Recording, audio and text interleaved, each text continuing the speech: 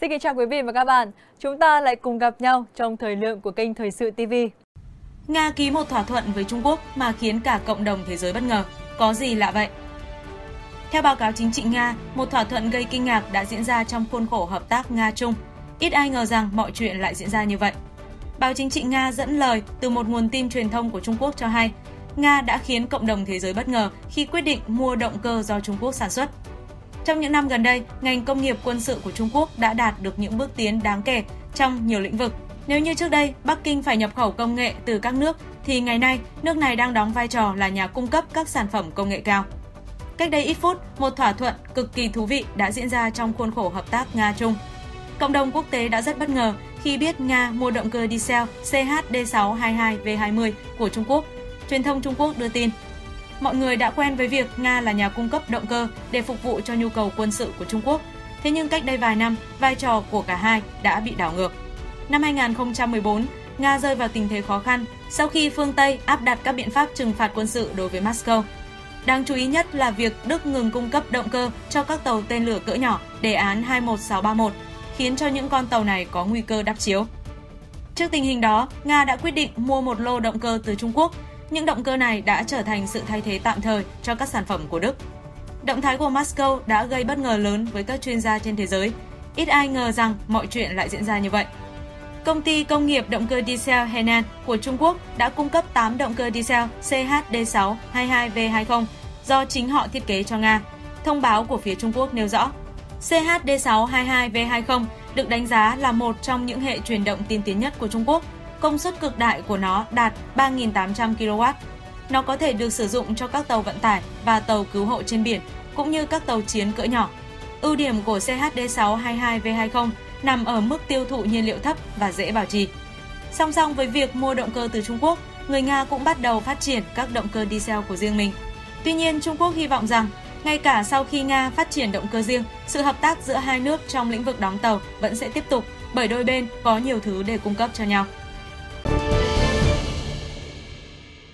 Thưa quý vị và các bạn, hiện nay số lượng F0 của thành phố Cần Thơ đang cách ly điều trị tại nhà ngày càng nhiều. Một số xã phường có nhiều trường hợp mắc COVID-19 dẫn tới quá tải nên việc chăm sóc không kịp thời, việc phối hợp vận chuyển F0 cần chuyển viện một số nơi làm chưa chặt chẽ. Việc cấp phát thuốc cho F0 tại nhà còn chậm và thiếu. Tuy nhiên, không chỉ có Cần Thơ, mà những ngày gần đây F0 ở các tỉnh miền Tây tiếp tục tăng cao. Hiện Cần Thơ có 11.329 F0 đang cách ly điều trị tại nhà, 2.901 ca đang điều trị tại các bệnh viện, trong đó có 318 ca điều trị ở tầng 3. Còn tại Sóc Trăng, trong ngày 2 tháng 12 có 793 ca mắc COVID-19, trong đó số ca nhiễm qua truy vết sàng lọc có 620 ca trong cộng đồng. Hiện đã có 111 ca tử vong. Đồng Tháp ghi nhận 606 ca mắc COVID-19 mới, trong đó 118 ca trong cộng đồng, hiện đã có 290 ca tử vong. Bến Tre ghi nhận 596 trường hợp dương tính với SARS-CoV-2, trong đó có đến 570 ca trong cộng đồng. Vĩnh Long ghi nhận 594 trường hợp nghi nhiễm, trong đó 240 ca trong cộng đồng, 56 ca sàng lọc tại cơ sở y tế và thêm 4 ca tử vong trong ngày. Thưa quý vị, những năm gần đây Hà Nội có nhiều nỗ lực trong việc đầu tư đổi mới phương tiện, từng bước thay thế những xe cũ gây ô nhiễm môi trường bằng xe buýt chất lượng cao. Và mới đây, ba tuyến buýt điện đầu tiên đã chính thức được khai trương, hòa mình vào mạng lưới vận tải giao thông công của thủ đô và đến gần hơn với mục tiêu tỷ lệ xe buýt sẽ sử dụng năng lượng sạch của Hà Nội sẽ đạt từ 15 cho tới 20% tới năm 2025. Nhiều người dân tỏ ra thích thú khi tuyến xe điện đầu tiên lăn bánh, ghi nhận của nhóm phóng viên VTC 14. Thưa quý vị và các bạn, hôm nay là ngày chính thức đánh dấu việc Vinbus tham gia mạng lưới vận tải hành khách công cộng tại thủ đô. À, có thể nói đây là một cái mốc quan trọng cho cái việc mà Vinbus tham gia vào thị phần cạnh tranh với những hãng xe buýt khác như là xe buýt CNG và xe buýt truyền thống chạy bằng xăng. Và điều này thì góp phần không chỉ làm góp phần thúc đẩy thói quen à, sử dụng phương tiện công cộng của người dân mà còn góp phần giảm thiểu ô nhiễm môi trường. Dù hệ thống xe buýt được khôi phục, nhưng lượng khách đi vắng do tâm lý e rè dịch bệnh. Nắm được thực tế này, xe buýt điện mới đã tích hợp ứng dụng công nghệ thanh toán tự động, hạn chế tiếp xúc quản lý thông qua hệ thống camera có sẵn. Đây được cho là hành động thích ứng kịp thời và đẩy mạnh thói quen sử dụng xe buýt hiện nay. Đối với thanh toán thì rất là tiện ích rồi bởi vì là với trước đây với cái uh, xe buýt mà truyền thống ấy mà không phải xe điện như thế này thì mình phải tiếp xúc với uh, phụ xe lái xe thì uh, cái hình thức như thế thì nó sẽ không đảm bảo được cái việc là cho người dân trong cái bối cảnh dịch bệnh như thế này. Quan trọng hơn, các tuyến buýt điện sẽ kết nối với tuyến đường sắt trên cao Cát Linh Hà Đông và các tuyến buýt khác để tạo thành hệ thống mạng lưới xe buýt đồng nhất, phục vụ nhu cầu đi lại của người dân. Chúng tôi cho rằng đây là một cái sự ra đời của một cái loại hình nó đang phù hợp với xu thế và nó đang phù hợp với những cái chủ trương phát triển vận tải công cộng của thành phố Hà Nội. Hai nữa là chúng ta cũng là đầu tiên sử dụng một cái hệ thống vé thông minh, tiện lợi, thuận tiện cho cả sử dụng, thuận tiện cho cả người quản lý nữa. Và cuối cùng nữa là một cái hệ thống điều hành thì chúng ta có những cái điều, điều hành à, hiện đại và nó có kết nối với trung tâm điều hành của của sở giao thông. Chiếc xe buýt điện này thì có rất là nhiều ưu điểm và rất là nhiều ưu điểm ưu việt so với lại xe buýt thường.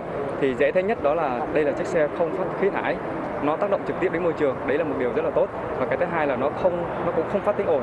Vì vậy cho nên là chúng ta cũng đã tránh được ô nhiễm tiếng ồn. Thì đây là hai cái lớn nhất mà mà mà xe buýt điện mang lại. Trong khi chất lượng dịch vụ xe buýt truyền thống hiện nay chưa có nhiều chuyển biến, xe buýt điện ra đời chắc chắn sẽ là cú hích lớn đối với mạng lưới vận tải công cộng, tạo ra một bước ngoặt mới trong quá trình xây dựng hệ thống giao thông xanh. Điều này buộc hệ thống xe buýt truyền thống phải chuyển mình để thích hợp hơn nữa trong bối cảnh hiện nay. Bộ Tài chính đang lấy ý kiến góp ý về dự thảo thông tư quy định chi tiết về lệ phí trước bạ, trong đó hướng dẫn cụ thể về đối tượng chịu lệ phí trước bạ, giá tính lệ phí trước bạ, mức thu lệ phí trước bạ, các trường hợp được miễn lệ phí trước bạ. Và theo đó, nhà nhiều loại đất, nhà và ô tô sắp được miễn phí trước bạ. Về các trường hợp được miễn lệ phí trước bạ gồm đất có công trình là chùa, nhà thờ, thánh thất, thánh đường, niệm Phật đường, tu viện, trường đào tạo riêng của tôn giáo, trụ sở của các tổ chức tôn giáo, các cơ sở khác của tôn giáo, đất có công trình là đình, đền, miếu, nhà ở đất của hộ nghèo, nhà ở đất của hộ đồng bào dân tộc thiểu số ở các xã, phường, thị trấn thuộc vùng khó khăn. Tây Nguyên nhà ở, đất ở của hộ gia đình, cá nhân thuộc các chương trình phát triển kinh tế xã hội của các xã đặc biệt khó khăn miền núi, vùng sâu, vùng xa được miễn nộp thuế phí trước bạ theo quy định. Nhà đất là trụ sở của cơ quan đại diện ngoại giao, cơ quan lãnh sự, cơ quan đại diện của các tổ chức quốc tế thuộc hệ thống Liên Hợp Quốc và nhà ở của người đứng đầu cơ quan đại diện ngoại giao, cơ quan lãnh sự, cơ quan đại diện của tổ chức quốc tế thuộc hệ thống Liên Hợp Quốc tế tại Việt Nam miễn lệ phí trước bạ theo quy định.